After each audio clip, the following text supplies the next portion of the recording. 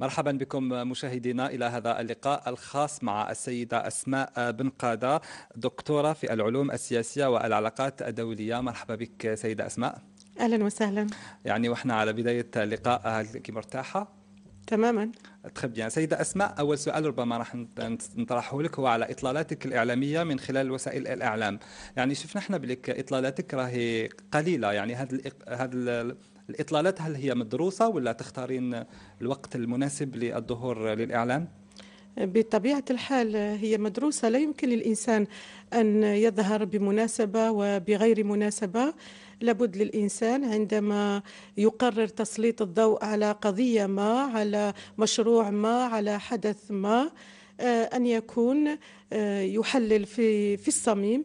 وأيضا يقدم إضافة جديدة للحدث أو القضية أو الاستحقاق أو لمشروع ما. وبالتالي لا يمكن للإنسان أن يكثف تواجده في الإعلام بالمناسبة وبغير مناسبة. زيدة أسماء هنالك من يعرفك على أساس دكتورة في العلوم السياسية وذات شهادات عليا ولكن هنالك أيضا ميزة من خلال شخصيتك هو انتمائك إلى عائلة الأمير الجزائري الأمير عبد القادر. هذا الأمر أشكو على بالك بلك المحاور ولا يعني الناس بمجرد أنه يلتقي بك يجيه طيف الأمير عبد القادر بصورة يعني تلقائية. هذا الأمر هل تحسيه c'est un avantage pour هو طيف الأمير عبد القادر يسكن كل ذات جزائرية معتزة بكيانها ومعتزة بجزائريتها ومعتزة بوطنها لست وحدي في ذلك. آه، سيدة أسماء آه، يعني بالحديث دائما على أنت نسبك. أنت ابنة الدكتور المرحوم محمد آه، بن قادة الملقب بأبو الرياضيات في الجزائر. رحمه الله. رحمه الله. الدكتور محمد بن قادة كان يوصي بناته. أنتم في الأسرة خمس بنات ست بنات. نعم. ست بنات حصلت على دكتورات. يعني احكي لنا على التحصيل العلمي المميز عند عائلة بن قادة. هو خديجة حاصلة على شهادة دكتوراه دولة في الفلسفة وهي أستاذ دكتور في كلية الفلسفة. وفاطمة الزهراء جراحة جراحة الوجه والفكين. وأيضا زينب متخصصة في علم اجتماع الجريمة أيضا أستاذ دكتور بالجامعة الجزائرية. وإكرام أيضا متخصصة في علم الاجتماع الديني. وأيضا لدي ثلاث إخوة أحدهم متخصص في الهندسة المدنية ماجستير. وعوني وهو عم الأمير عبد القادر على مسماه. المتخصص في الهندسة المدنية هو قادة مختار على عم الأمير عبد القادر الجزائري أيضا. عوني متخصص في لامارين مارشانت. بحرية تجارية إن صح التعبير. وأيضا عبد الرحمن متخصص في اللغة الألمانية. آه، السيد المرحوم محمد بن قادة كان يركز من خلال توصياته لبناته وهذا الشيء قريته أنا في إحدى مقالاتك أنه كان يقول لكم يعني ركزوا على العلم عوض النسب. يعني كان حريص على أنه آه، أولاده يكونوا يعني عندهم تحصيل علمي كبير. صحيح. يعني كان توجه في التكوين والتربية وقائم على العلم والإيمان بالدرجة الأولى وكان يحثنا على ذلك بشكل يعني قوي جدا ولم يكن يهم في الحياة سوى هذين آه، الركنين اللذين تقوم عليهما الشخصية مع حب الوطن ومع المحافظة على الهوية مع آه، خدمة الوطن. يعني كان ينتظر فقط متى تتجسد أحلامه في أولاده آه، من خلال ارتباطهم بالوطن وخدمته من الناحية العلمية. يعني جانبا برك على هذا السؤال. هل تحسي أنه الهدف تاعو لحق له السيد لو كان عايش كان راح يكون راضي على إلى حد. كبير. نعم إلى حد كبير. امم وش يفكرك فيه يعني الوالد؟ هل هنالك شخصيه ربما تفكرك به؟ آه الوالد كان الدليل في حياتي. يعني من خلال توجيهاته هو الذي وضع معالم الطريق كلها بالنسبة إلى اتجاهنا في الحياة. ف غيابه عن غيابه عنا خلف فراغا كبيرا. نحاول أن نستدركه باستمرار من خلال الرصيد الذي غرسه فينا. نحاول استثماره بشكل مستمر. يعني برك اسمحي لي للتوضيح للمشاهدين وحضورك معنا اليوم. هو كممثلة عن حزب جبهة التحرير الوطني وأنت ضمن الفاعلين في الحملة الإعلامية للمرشح عبد العزيز بوتفليقة. سوف نغوص أكثر في تفاصيل هذه الحملة الإعلامية التي يبدو أنها مدروسة ولكن يعني اسمحي لي برك عندي سؤال بخصوص الأب. نعم. يعني الأب يعني بعد غياب الأب وشنو هو اللي يعوض الفراغ في قلب المرأة؟ هو رصيده طبعا. يعني كل تلك التوصيات وكل تلك التوجيهات وكل تلك التربية وكل ذلك الرصيد هو الذي تظل تستثمر فيه. يعني يرسخ وفي الحقيقة السيد الوالد لم يكن فقط بالنسبة للتربية والتكوين والعلم بل بالنسبة رؤية متكاملة للحياة الرياضة الترفيه الفن الثقافة الرؤية واسعة جدا للحياة. نشأنا عليها وارتسم الاتجاه من خلالها ولا نزال نعيش عليها. آه، يعني برك من أجل المصارحة أحد الأصدقاء يعني اللي خبرته أن أننا سنستضيف السيدة أسماء بن قادة. كان قال لي أنه يعني المكانة اللي عندها السيدة أسماء في المجتمع الجزائري وحتى في المجتمع العربي كان يقول أنه نتاج أنه الحياة الأرستقراطية اللي كنت عايشتها. يعني هنالك من يربط بين يعني التربية الكبيرة والمميزة اللي عند عائلة بن قادة والوضعية المادية للعائلة. يعني هل هذا صحيح أنه أنت امرأة أرستقراطية إلى حد كبير. الإنسان لا يصنعه المال أو الوضع المادي أو الطبقة التي ينتمي إليها أو الإنسان يعني بعمق الإنساني بالمعاني التي يعيشها بداخله بثقافته باستثماره في العلم والمعرفة. هذا الذي يصنع الإنسان. المال لا يمكن أن يصنع آه، شيء. يعني ممكن أن يكون آه، مسألة مكملة بالنسبة إلى ما يمكن أن يخلق شيء من الرفاهية الذي يكون في خلفية الاستثمار دائما فيما هو جدي من علم ومعرفة من خدمة للوطن من آه، أعمال اجتماعية من آه، يعني كل ما يمكن أن يثري حياة الإنسان من حيث نشاطاته.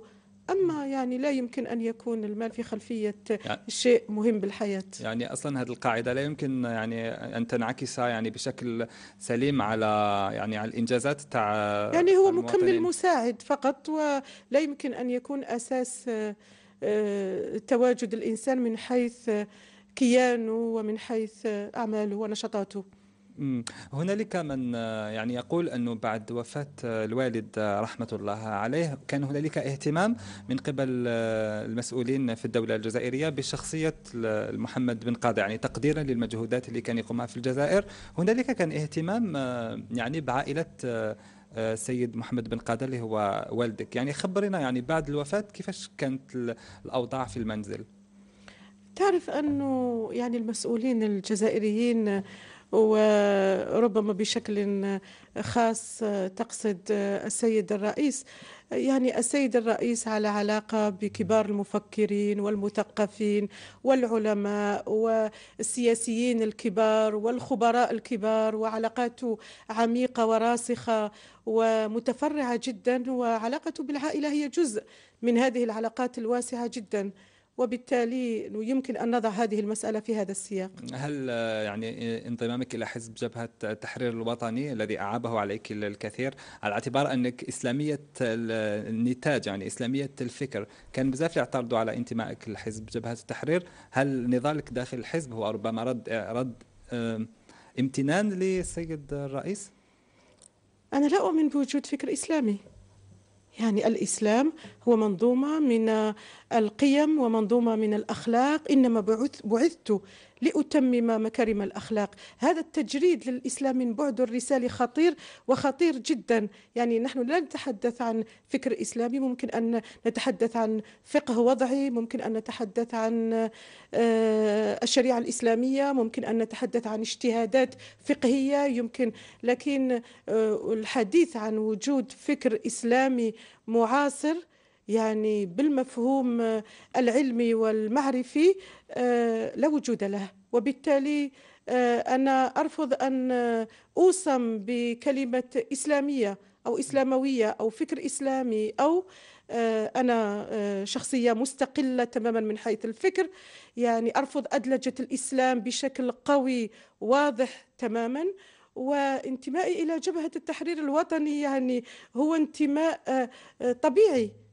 كل الشعب الجزائري يعني ينتمي إلى هذا الرصيد الكبير وانتمائي سياسيا له أيضا شرف كبير. يعني أنا شخصية مستقلة لم أمنح ولائي يوما لجماعة إسلامية أو لشيخ أو لحزب إسلامي بأي شكل من الأشكال وبشكل مباشر أو غير مباشر.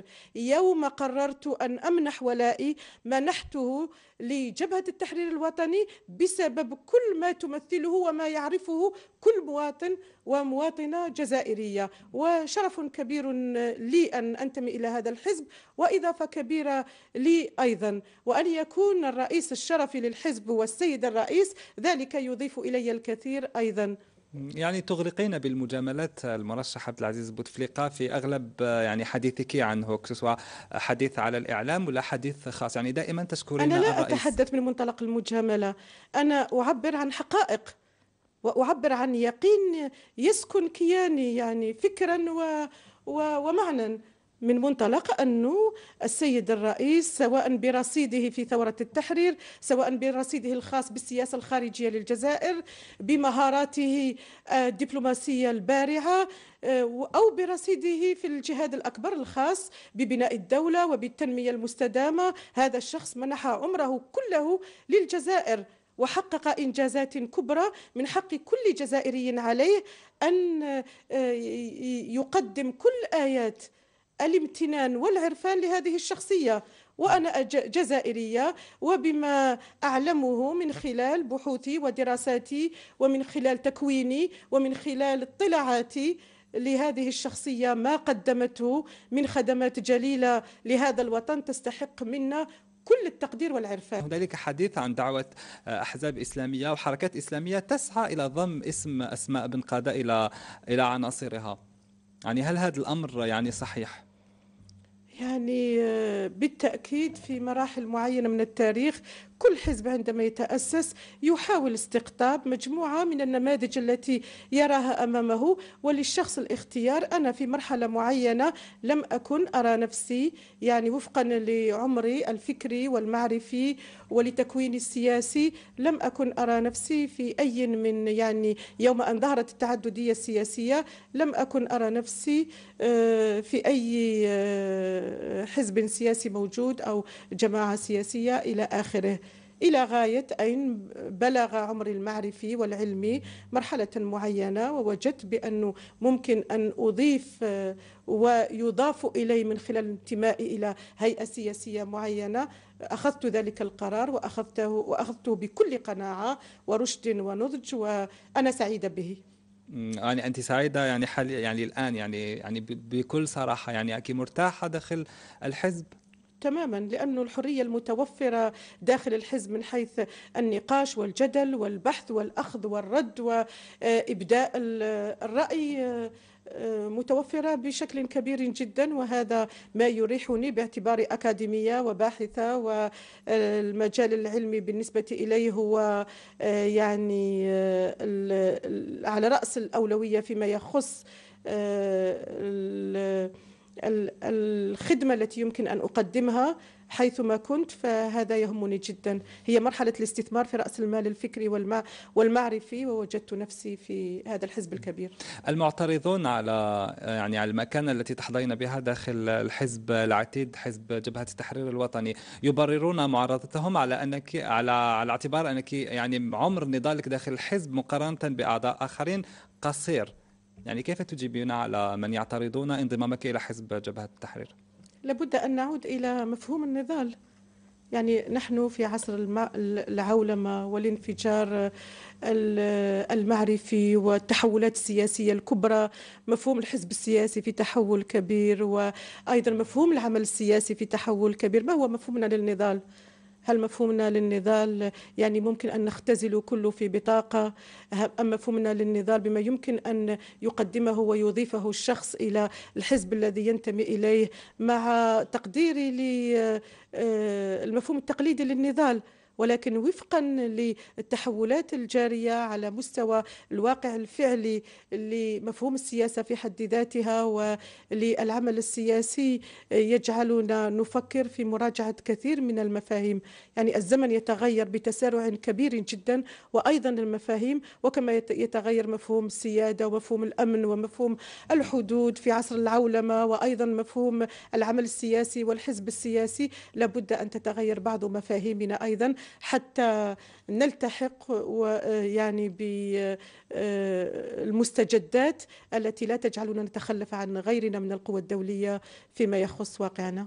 المعترضون على نضالك داخل حزب جبهة التحرير الوطني ألا ترين ربما أنهم يخلطون بين كونك امرأة يعني يعني يعني امرأة مناضلة وبين ما يمكن أن تقدميه داخل الحزب؟ أليس اعتراضهم ربما قائم على أساس أنك امرأة وإحنا نعرف باللي في حزب جبهة التحرير الوطني؟ قلائل النساء التي تصنعن الحدث؟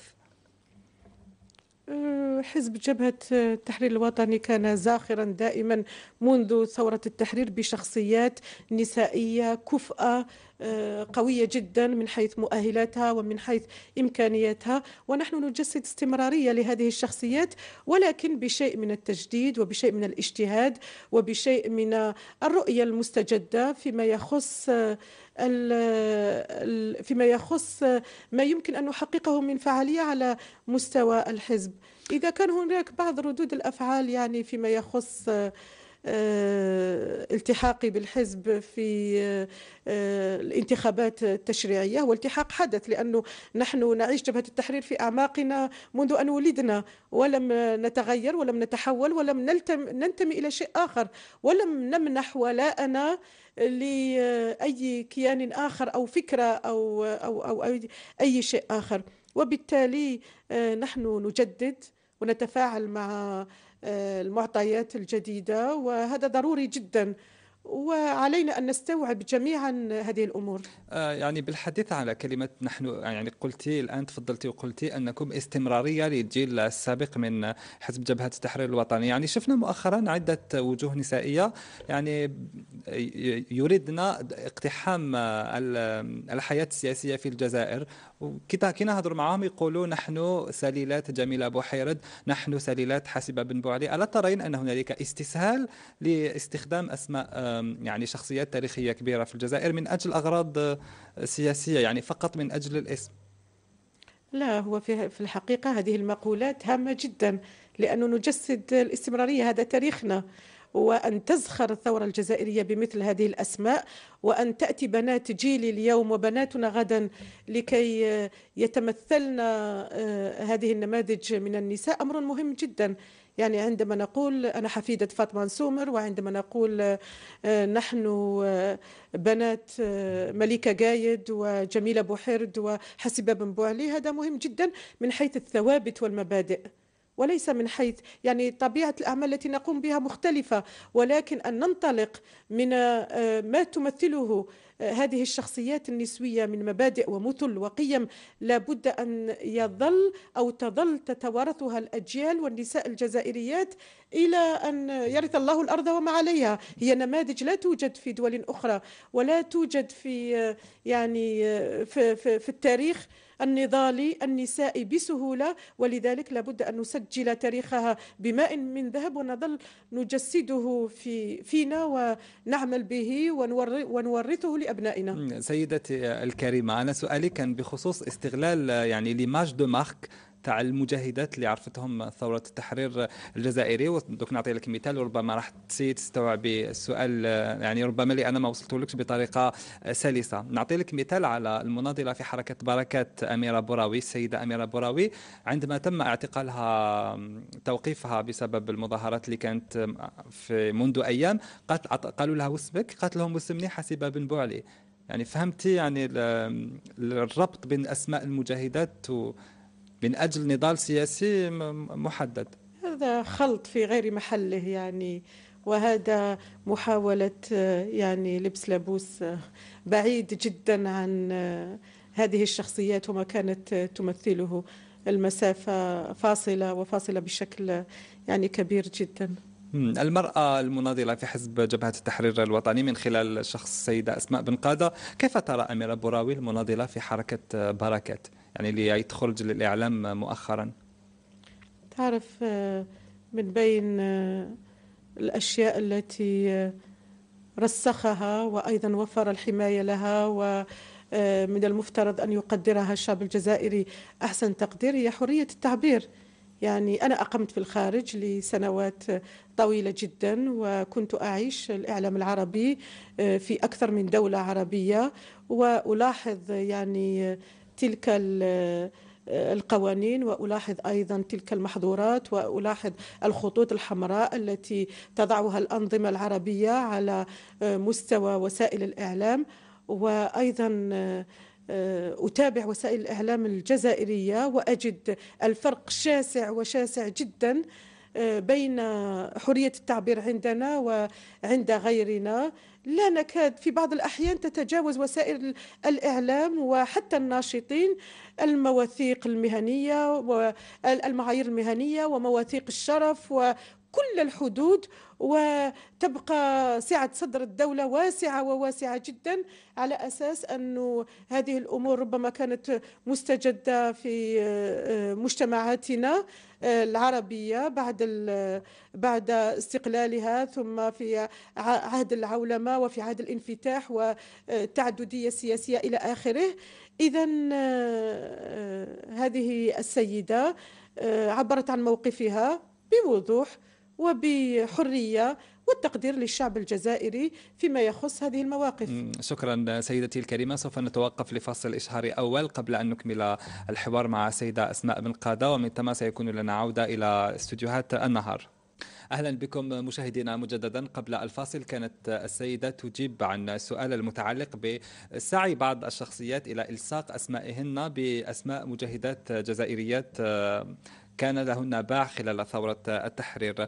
آه، سيدة أسماء آه، هنالك مقولة متداولة عند يعني عند الشعب أنه وراء كل رجل عظيم امرأة عظيمة أو امرأة. يعني وراء السيدة أسماء آه، بن قادة. هل هنالك رجل أو رجال كان لهم فضل في دفعك إلى تحقيق ما حققته إلى غاية اليوم؟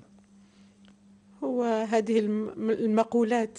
وراء كل عظيم امرأة ووراء كل عظيم رجل. وهي مقولات يعني يحتاج الواقع إلى تفنيدها.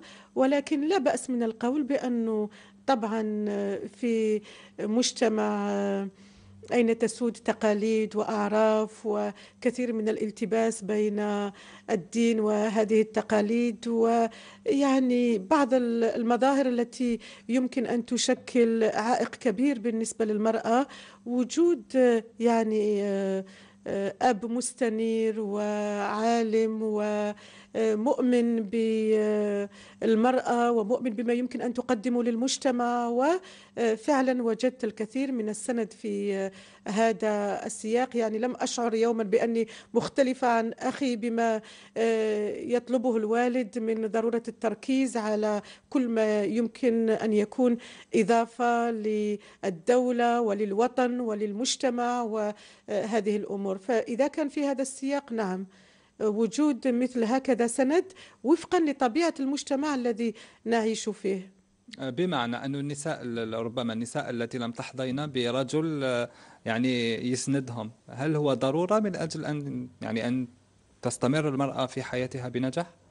هو عنصر مكمل وعنصر آه، يعني ساند يعتبر سند نسبيا. ولكن إذا توفرت في المرأة يعني إرادة قوية وشخصية آه، و مؤهلات وإمكانيات تسمح لها بتجاوز العقبات الموجودة في المجتمع. آه، أيضا يمكن أن يتم بدون عندك أنت من الشخصية القوية والعناد اللي أكيد تحطي عليه؟ مثل كل الجزائريين والجزائريات عموما. يعني آه، قلت لك بأن الأسرة تلعب دور كبير جدا والجزائري بطبيعته أيضا آه، يملك روح التحدي هذه عندما تصادفه في الحياة بعض المصاعب بعض المعوقات. سنعود إلى التركيبة التي تحدثت عنها يعني في مقالات سابقة حول شخصية الجزائري ولكن هنالك سؤال متعلق بالمكانة التي تحظين بها عند مشايخ وعلماء الدين. هنالك من يرى أن أسماء بن قادة لديها مكانة مميزة عند العلماء والمسلمين. هذه المكانة إلى يعني راجع ما هو سببها؟ يعني ربما يعود ذلك إلى الفعاليات والمؤتمرات و والأعمال والدراسات وهذه الأشياء يعني شاركت في الكثير من الفعاليات. ربما تتجاوز 200 آه، مؤتمر أو شيء عبر العالم. وبدأت هذه بالجزائر. يعني لما نقول الجزائر معنى ذلك أنه سواء من حيث الدراسة والتعليم سواء من حيث الثقافة سواء من حيث يعني الفكر وفرت الجزائر كدولة كل ما يمكن أن تنفتح عليه شخصية الجزائري والجزائرية وكل ما يمكن أن يكون رصيده العلمي والفكري والثقافي. ولذلك يعني عندما نتقدم في هذا التحصيل نحاول قدر الإمكان أن تكون لنا إسهامات حتى نرد الجميل. ومن بين هذه الفعاليات ملتقيات الفكر الإسلامي التي كنا نلتقي فيها آه، بكل علماء الدنيا في المجال الديني وفي المجال العلمي وفي وكان القائمون عليها يحاولون قدر الإمكان أن تشمل كل التخصصات العلمية والدينية ويحضرها الطلبة والطالبات بحيث يعيشون ذلك التمازج وذلك الجدل وتلك التجاذبات حتى آه، يصبح لديهم تكوين عن استنارة وعن آه، يعني آه، كثير من آه، التبصر وكثير من الوضوح فيما يخص مختلف التخصصات ومختلف ما يمكن أن يجري بينها من مناقشات وحوارات حادة كانت تحصل في ذلك الوقت. في تلك الملتقيات. حضور الجزائريات في الملتقيات الإسلامية والفكريه يعني بشكل عام هل هو حضور يعني محتشم أم حضور لا بأس به؟ هو في الحقيقة نقصت هذه المساهمات كثيرا في خلال المأساة الجزائرية والعشرية السوداء سواء من الرجال والنساء. يعني أنا حضرت كثير من مؤتمرات دافوس وشاركت في الكثير من الندوات على مستوى اليونسكو وفي وفي كثير من المنتديات العلمية و وكان حضور الجزائريين قليل إلى حد ما. ولكن انتعشت الأمور بعد ذلك وأصبحنا نلتقي كثير من الجزائريين في مختلف المشاركات وأصبح حضورهم يزيد شيئا فشيئا اليوم. سيدة أسماء آه، عودة إلى الموضوع الذي تصرنا على أن نأخذه هو متعلق ب آه، يعني في مرة من المرات يعني في اتصال هاتفي كنت خبرتيني أنه الرئيس آه، المترشح عبد العزيز بوتفليقة عنده بعد فلسفي للمرأة الجزائرية. ولو أنه أني في الهاتف يعني ما فهمت وش قلتي درك ماذا بيا تفهميني وتفهمي المشاهدين بخصوص هذا البعد الفلسفي اللي عند المترشح عبد العزيز بوتفليقة للمرأة. يعني السيد رئيس المجاهد المترشح ل يعني ابتسمتي القادمة. تتكلمين عن المترشح. طبيعي أنا على قناعة بإنجازات السيد الرئيس وبرؤاة الفلسفية والمعرفية وببرنامجه القادم أيضا. من هذا المنطلق أقول بأنه السيد الرئيس يعني يرى بأن الارتقاء بمكانة المرأة وتغيير وضعيتها والتمكين لها يتم عن طريق أحد أمرين إما تغيير الذهنيات في المجتمع أو آه، من خلال اتخاذ مجموعة من الإجراءات عبر إرادة سياسية قوية تدفع بالأمور إلى الأمام أو أنه يعتمد استراتيجية يعني يتخذ هذه الإجراءات بما ينعكس ايجابيا على الذهنيات. يعني آه، السيد الرئيس في خطابه في أفريل 2011 قال جملة أنا كنت أتابعها من قطر كنت أتابع الخطاب الذي كان هاما جدا لأنه آه، جاء في تزامن مع منعطف وتفاعلات سياسية خطيرة جدا كانت تجري في العالم العربي إلى آخره. فوقفت عند هذه الجملة الذي التي قالها عن المرأة عندما قال لولا المجتمع الجزائري لولا المرأة الجزائرية لما بقي المجتمع الجزائري واقفا.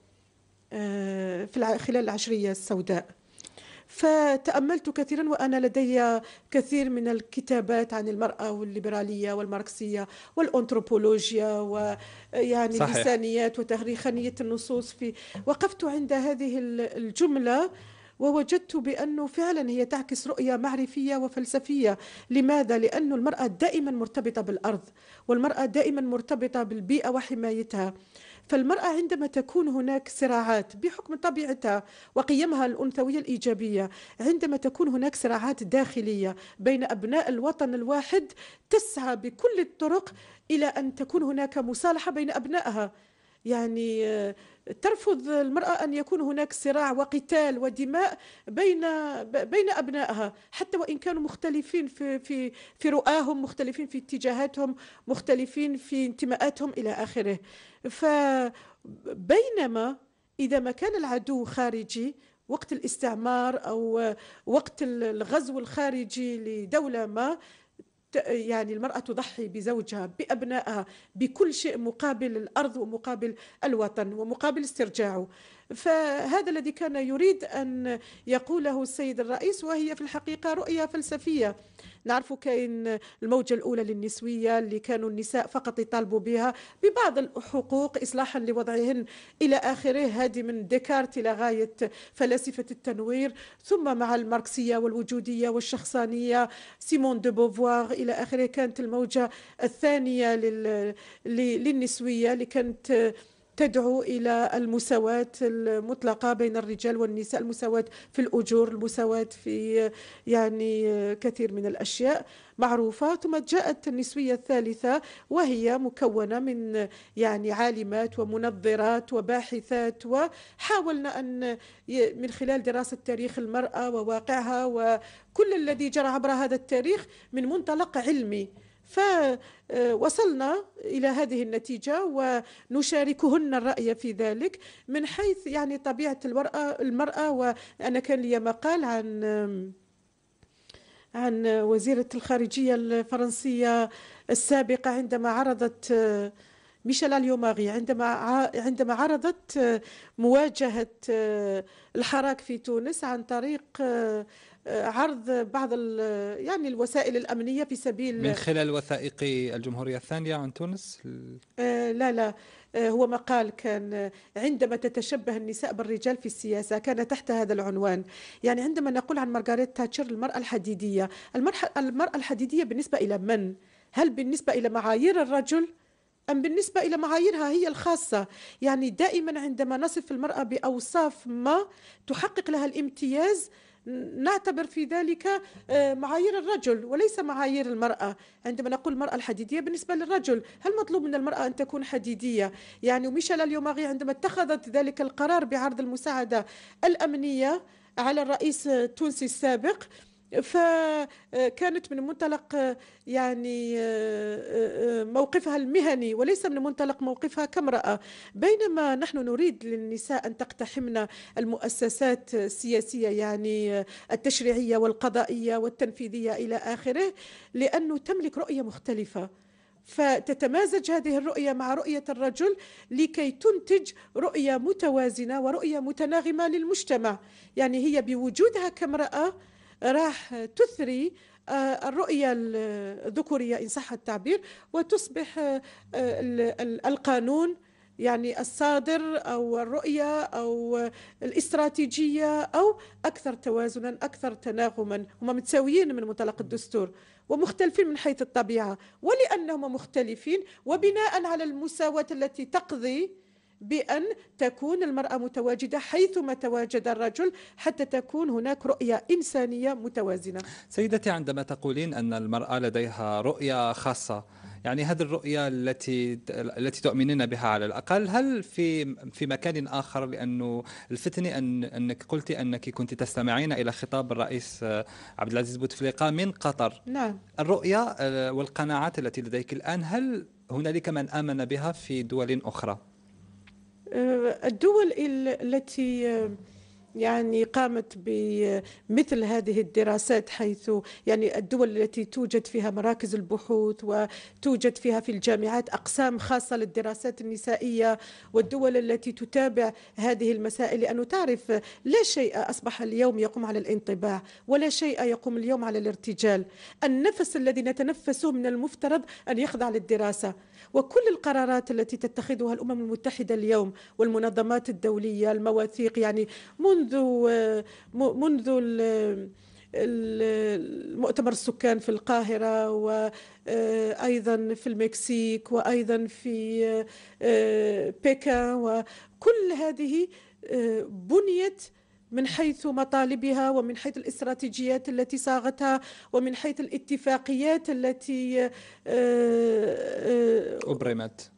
أنا أتحدث التي سيدة أسماء أنا التي أبرمت والتي وقعنا على الكثير منها في الجزائر كدولة كلها مبنية على الدراسة. آه، سيدة أسماء يعني اسمحي لي كلامك هو الكبير ولكن أنا أتحدث عن قناعتك آه، قناعاتك أنت. يعني في قطر يعني آه، هل كنت تروجين لهذا البعد عن المرأة يعني بنفس الحماسة اللي راك تروجي فيها الآن في الجزائر؟ في أي في أي فعالية أنا شاركت فيها؟ وفي أي مؤتمر شاركت فيه وفي أي مناسبة آه، يعني آه، أعبر عن هذه الرؤية من منطلق علمي ومن منطلق آه، ومن منطلق فكري ومن منطلق بحث ودراسة. واليوم واليوم وفي الجزائر يعني تعزز هذا الفكر والرؤية والدراسة وهذه القناعة بالإرادة السياسية. وهذا يسعدني جدا لأنه في دولتي رئيس يستوعب كل هذه التحولات من منطلق علمي ومن منطلق قائم على الدراسات والبحوث. والأجمل في هذا كله أيضا أن الرئيس بحنكته وبحكمته استطاع أن آه، يقوم آه، أو يصوغ معادلة فيها احترام للخصوصية وفيها تأكيد على الهوية. وفيها تمسك بتعاليم الإسلام الأصيلة وفيها تطلع إلى كل ما يجري من حولنا وفيما يخص المواثيق فيما يخص الاتفاقيات فيما يخص فهذا المزيج كله جعل المسيرة فيما يخص آه، فيما فيما يخص توفير مزيد من الحقوق للمرأة والتمكين لها آه، تكون في سياق منسجم ومتناغم.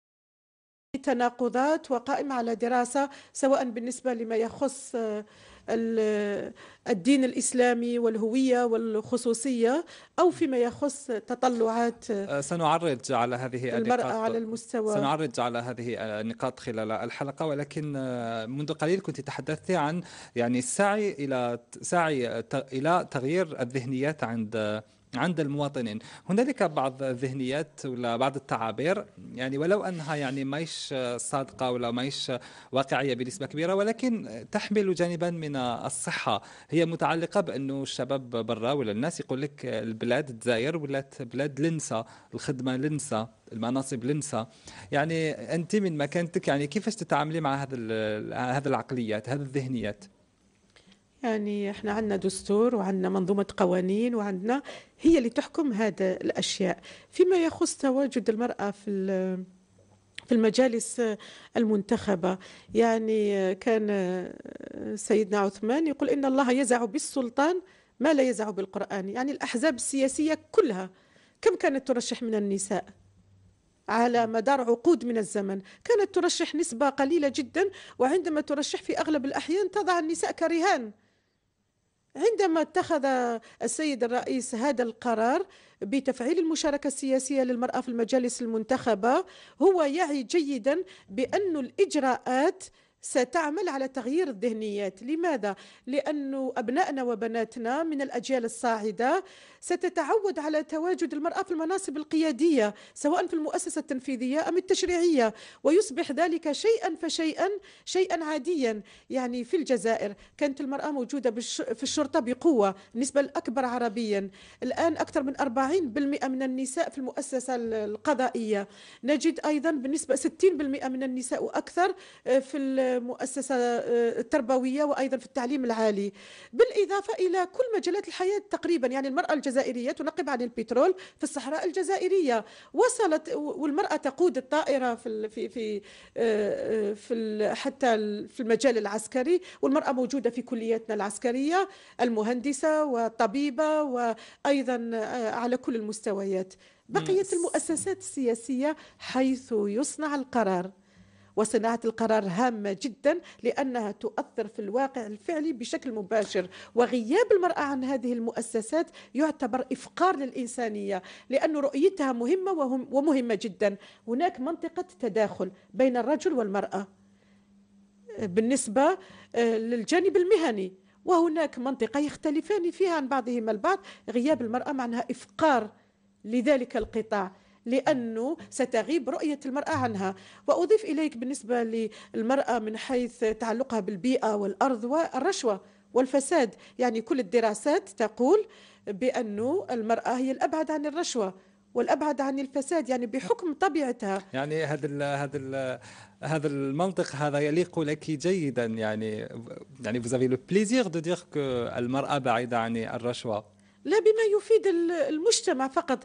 برنامج الرئيس يقوم على محاربة الفساد يعني وجود المرأة بكثرة في بعض المؤسسات مهم جدا على أساس أنه ذلك عامل مساعد آخر فيما يخص محاربة الفساد. آخر سؤال سيدة أسماء قبل أن نمر إلى الفاصل الثاني. متعلق ب يعني تحدثت عن ترشيح المرأة في خلال يعني في الأحزاب السياسية. هنالك حديث ربما سيزعجك قليلا ولكن اعذروني على السؤال. هنالك من قال أن ترشحك ترشيحك في حزب جبهة التحرير الوطني جاء بعد توسط الشيخة موزة من قطر عند هذا هذا موضوع عار تماما عن الصحة.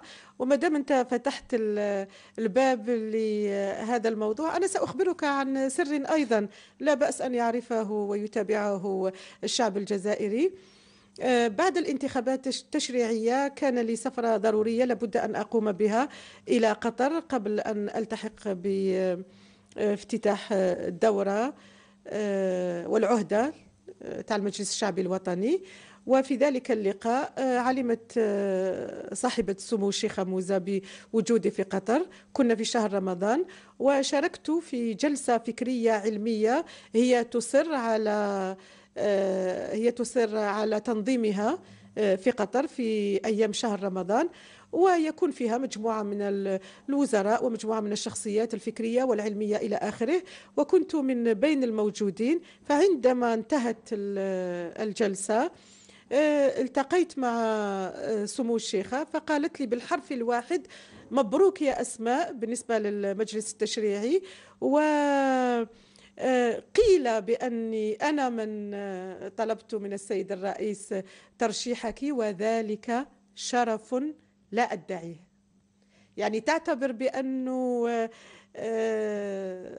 كونها تقول السيد الرئيس يعني تشير عليه بكذا أو كذا وشرف كبير لها وهي لا تدعيه. بخصوص علاقتك يعني علاقة المودة التي تربطك بالشيخة موزة يعني لماذا موزة توليك اهتماما خاص؟ يعني في أي بلد وفي أي دولة آه، يكون الضوء مسلط على الكفاءات يكون الضوء مسلط على بعض الشخصيات النسائية لكونها امرأة.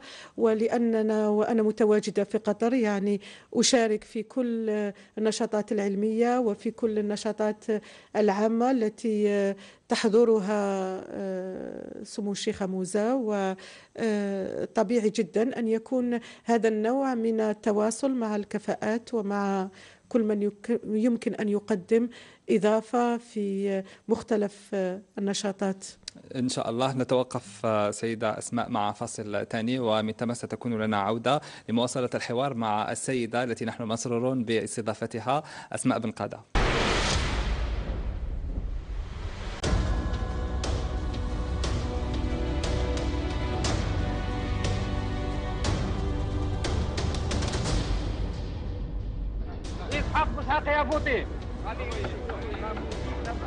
مسيو ديدو شافوتي؟ صح ادي ورقة من ورقة من روح الداخل كيف كيف هذا واش ما كنت أخويا؟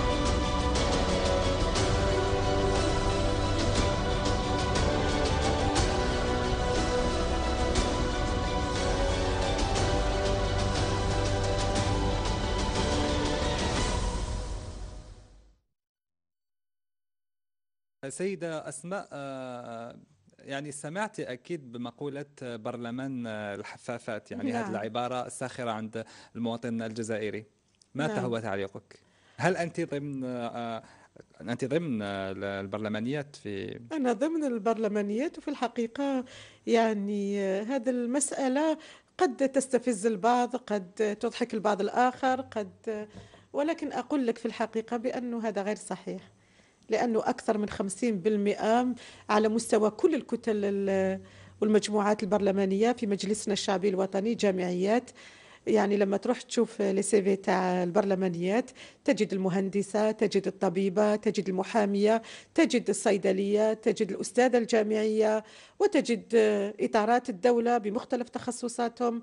يعني هذا عيب من حيث الصدى الإعلامي. آه، لأنه أن نعكس هذه الصورة للمجتمع الدولي وهذا غير صحيح ومن المفترض أنه لا نبخس الناس أشياءهم من الناحية الأخلاقية أولا لأنه هذه حقيقة البرلمان. وثانيا لابد أن آه، نهتم بصورتنا كثيرا التي نصدرها للعالم لأن غيرنا من الدول يهتم ويعني يعكس ما ليس فيه من إيجابيات. ونحن نبخس أشياءنا ويعني نقلل مما نملكه ومما هو إيجابي لدينا. سنتحدث عن قوانين وعن مشاريع القوانين والكلام يجرنا إلى مؤخرا حول نية استحداث صندوق للمطلقات. ما هي الإيجابيات التي ترينها في هذا الصندوق؟ يعني آه، المعنى في بطن الشاعر والمعنى في ذهن الرئيس. مرة أخرى آه، السيد الرئيس المجاهد عبد العزيز بوتفليقة لا يرضى أن يعني تنتزع الكرامة من الفئات ال- الضعيفة واللي وضعيتها في المجتمع يعني صعبة. لهذا السبب يعني تصور نساء مطلقات إذا كانوا آه، آه، يعني الرجال المطلقين آه، ما عندهمش إمكانيات ماشي قادرين على السداد. وفي نفس الوقت النساء عاجزات على أنهم يعولوا أبنائهم طبيعي جدا الدولة اللي تحترم نفسها وتحترم مواطنيها وتحافظ على كرامة المرأة والأطفال عندها أنها تنشئ مثل هذا الصندوق اللي ينفق على الفئات المعوزة ولا سيما المرأة المطلقة الحاضنة لأطفال قصر. يعني تكون هي ضحية ويكونوا أولادها أيضا ضحية ويتولد عن ذلك آفات اجتماعية. ربما تصدر الدولة ربما تصرف الدولة حتى تعالج تلك الآفات أضعاف مضاعفة مما يمكن أن تصرفه لصون كرامة النساء والأطفال أيضا السيدة أسماء بن قادة المناضلة في حزب جبهة التحرير الوطني هل تتبنى قضية الدفاع عن المطلقات؟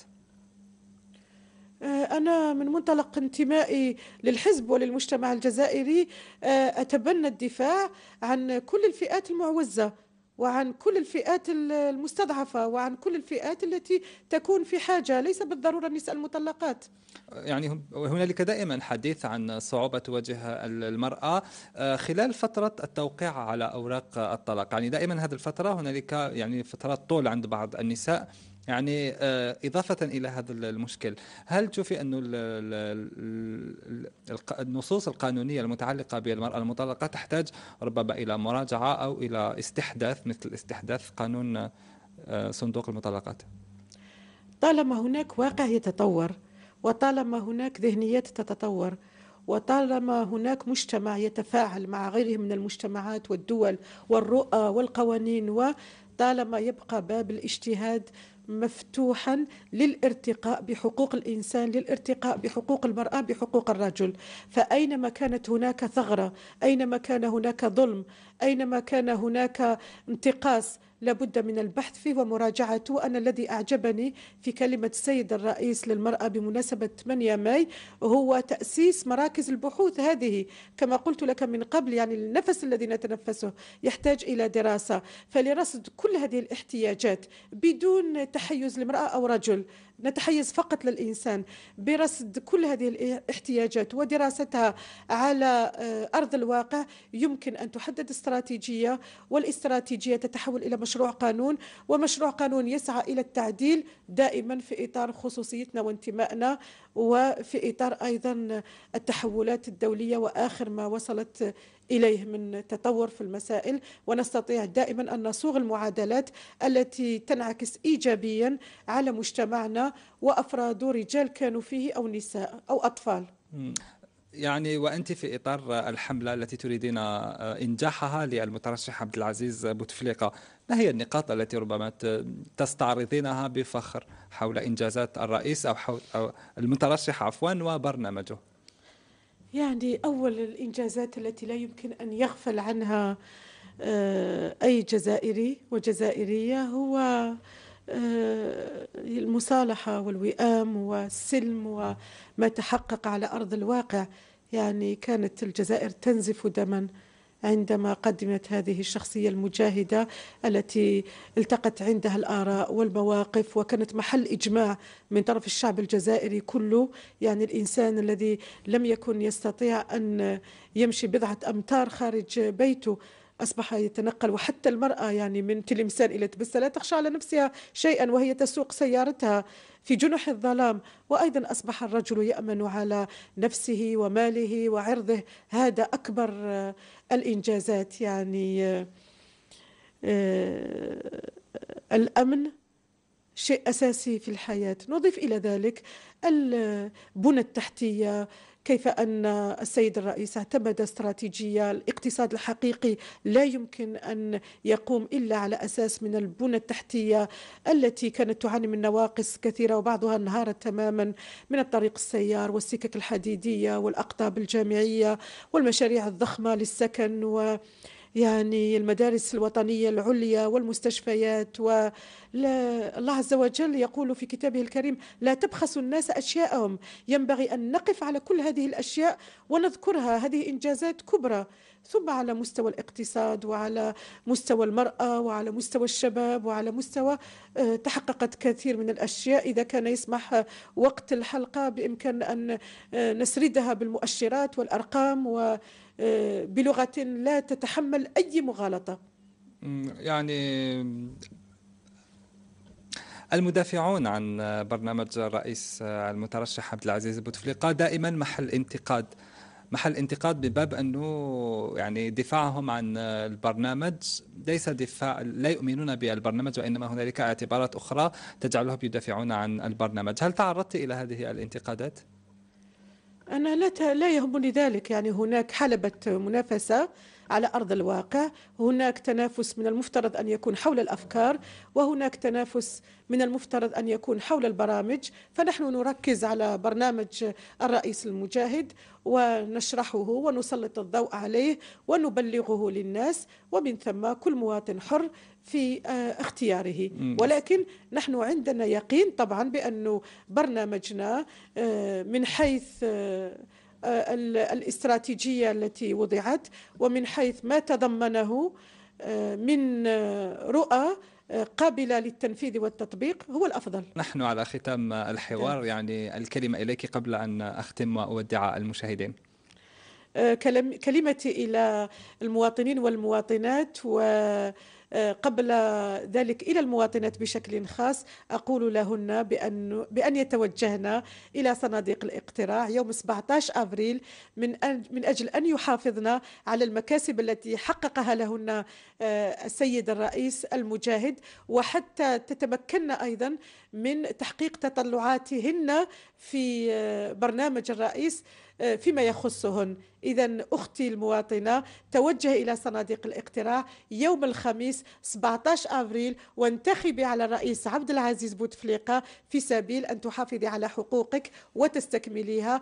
وإخواني المواطنين والمواطنات توجهوا إلى آه، صناديق الاقتراع يوم 17 أبريل وصونوا مكاسبكم وحققوا تطلعاتكم من أجل آه، بالانتخاب آه، على السيد الرئيس عبد العزيز بوتفليقة.